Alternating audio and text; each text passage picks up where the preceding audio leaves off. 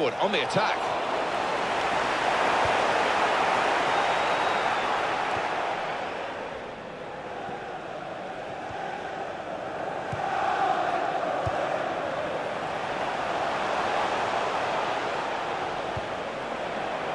And we've got a goal.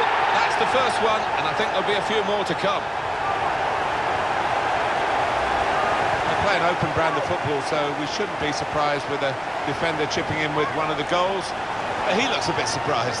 Yeah, I mean, it's not like he's never scored a goal before, but uh, he found himself in the position. He didn't hesitate.